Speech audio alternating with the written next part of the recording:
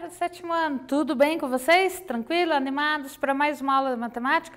Sou a professora Jaqueline. E o que, que nós vamos estudar hoje, professora? Vamos lá ver comigo?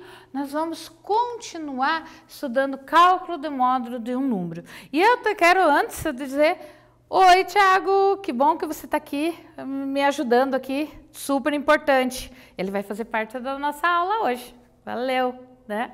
Aí, Resolver exercícios, situações, problema que envolvam o módulo e o número inteiro. Bom, situação, problema.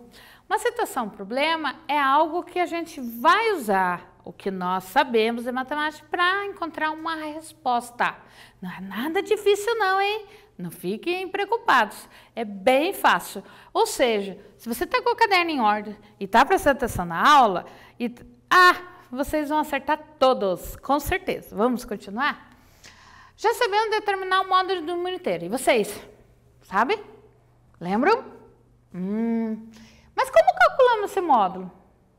Lembram mesmo? Hum, dá uma pensadinha aí. Ou dá uma folha, uma colinha lá no caderno. Em que situações usamos o módulo no número inteiro? Hum, nós já vimos, mas será que vocês lembram? É bom, gente, sempre é bom estar tá relembrando o que a gente já estudou, para que cada vez que a gente vai puxando pela memória ali, a gente vai amadurecendo o conhecimento, a gente vai fixando ele, fica mais difícil esquecer, tá bom? Vamos continuar? Módulo valor absoluto. Se você esqueceu, ai, professora, me deu um branco. Então, a professora aqui vai te ajudar. Valor absoluto ou módulo do número corresponde a quantas unidades esse número está distante de zero. O zero é a nossa origem, é o nosso ponto referencial. Tudo que está à esquerda, porque eu estou numa reta numérica horizontal, é negativo, né? Menos um, menos dois, menos três, etc. Então, seis unidades. Então, o módulo de menos seis é seis, porque eu ando seis passos, vamos dizer assim, ó. Um passo, dois passos, três passos, quatro passos, cinco passos, seis passos. Ou seis unidades né? E para a direita, mais 6 unidades. Então, tanto o módulo de menos 6 como o módulo de mais 6 é igual a 6. Tranquilo? Relembraram? Fixaram? Ah, que bom! Vamos praticar então? A figura é uma reta numérica mostrando a posição de dois aviões, A e B, em relação à cidade de São Paulo. Então, eles vão pousar lá no aeroporto, por exemplo, no aeroporto de Congonhas que fica lá na, em São Paulo. Um está vindo da direção leste, né? Vamos dizer assim, e outro da direção oeste. Então, eles estão vindo de lugares diferentes e vão pousar nesse aeroporto. Sabendo que cada intervalo corresponde a 45 quilômetros, ó, cuidado aí. Cada um desses esquinhos corresponde a 45 quilômetros, não é um, tá? Aqui não é um, tá? Né? Porque a distância é maior. Marca as posições A e B e determine a distância desses aviões em relação a São Paulo. Então, veja bem, a quantos quilômetros esse avião está de São Paulo? Né? Lá no, eu dei o exemplo do aeroporto Congonhas, que talvez seja o local de pouso. E esse avião B? Então, veja bem aqui, ó. Cada risquinho desse, vamos dizer assim, cada intervalo corresponde a 45 quilômetros. E daí? O avião A está a quantos quilômetros de São Paulo? E o avião B? Eu vou dar um tempo para vocês resolverem e eu já volto.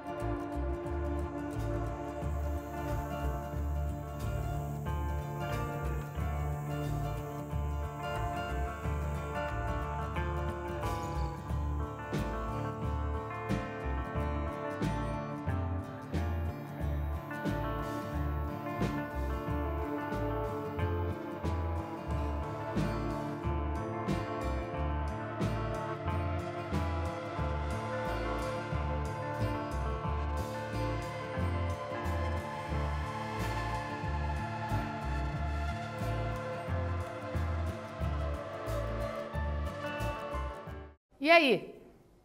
Descobriram? O avião A está quantos quilômetros do aeroporto? Né? Porque o, o, avião vai pousar no aeroporto lá, localizado na cidade de São Paulo. E o avião B? Vamos ver? Então, aqui, ó. O avião A está a dois intervalos, né? Do aeroporto lá em São Paulo. O avião B está a três intervalos, tá? E eu já fiz a conta aqui para vocês. Como cada intervalo é 45 quilômetros, então ele está a três distâncias, então 3 vezes 45. Então isso me deu 135 quilômetros. Ele não está tão perto assim de São Paulo, tá, gente? Ele está meio longe, né? Mas o avião percorre isso muito rapidamente, essa distância, né? Ele é dos nossos meios de transporte um dos mais rápidos, né? Então ele está a 135 quilômetros. Então a gente já descobriu a posição do avião A e a distância dele. Agora vamos, desculpa, do avião B. Agora vamos descobrir do avião A. Dois intervalos. Só que como ele está à esquerda da origem, a gente pode considerar o valor seria menos 45.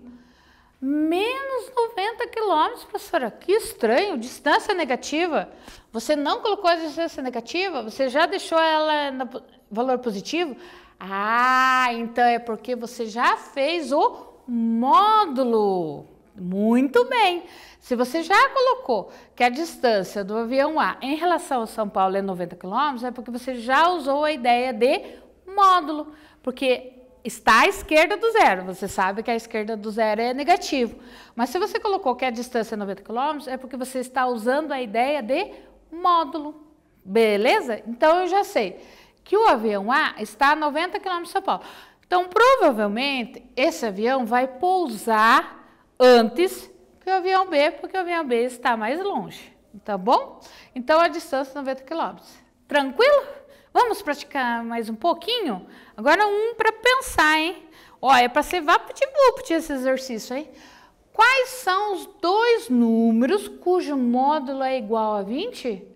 Veja bem, eu sei que a resposta é 20, mas quais números que ao fazer o módulo me dá como resposta 20?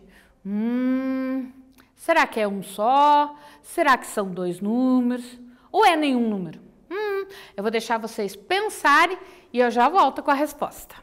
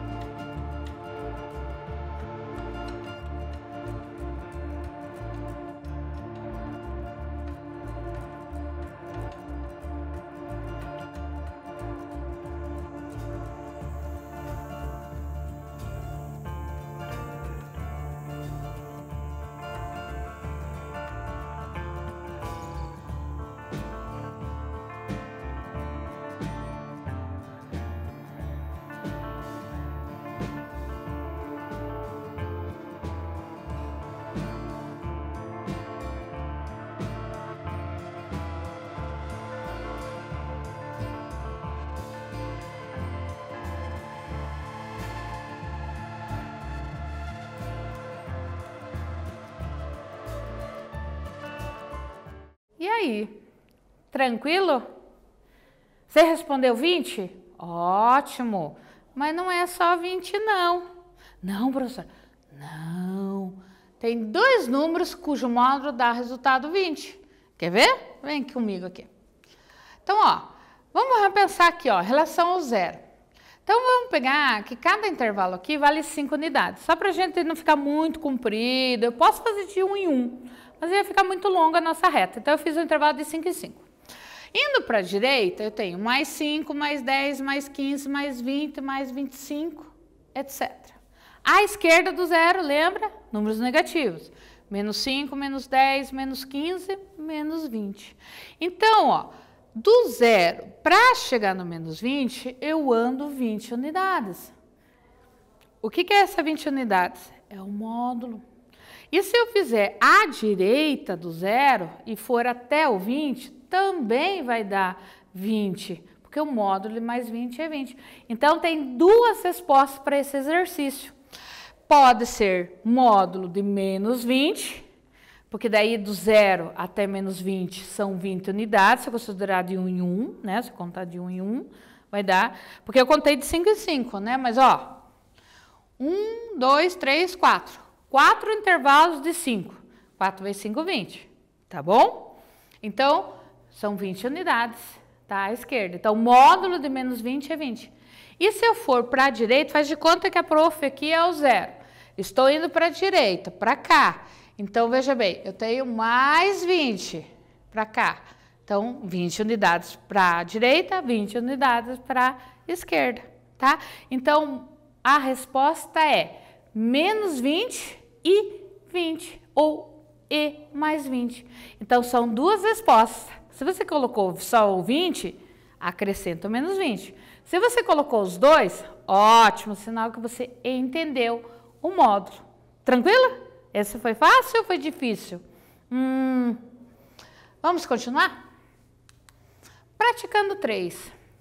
Marque V se a afirmativa estiver correta. Então, V de verdade. E marque F, F de falso, se a afirmativa estiver incorreta. Então, veja bem. Se você ler lá e você concordar, se você achar que está certo, você vai pôr um V. Se você achar que não está certo, você põe um F, tudo bem? Vamos ler aqui a primeira item. Módulo de 12 é maior que módulo de menos 13. Hum. Módulo de menos 2 é menor que módulo de mais 2.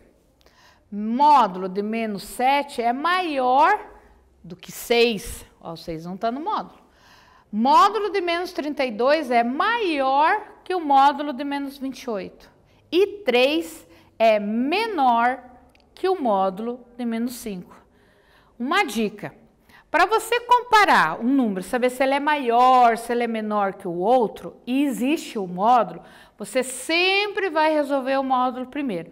Nós chamamos isso, né, no cotidiano de tirar o módulo. O que é tirar o módulo? Eu vou pôr o valor absoluto desse número. Que nem a gente fez lá no exercício 2. Como eu queria saber o resultado que dava 20, a gente fez módulo de 20, que dá 20, e módulo de menos 20, que também é 20. Então, eu tirei o módulo. Então, é isso que você tem que fazer. Hein? Você tem que tirar o módulo e comparar. Se é maior ou se é menor. Tudo bem? Tranquilo? Então, vamos ver se está tranquilo mesmo. Eu vou dar um tempo para vocês res responderem e depois a gente confere, tá bom? Até daqui a pouquinho.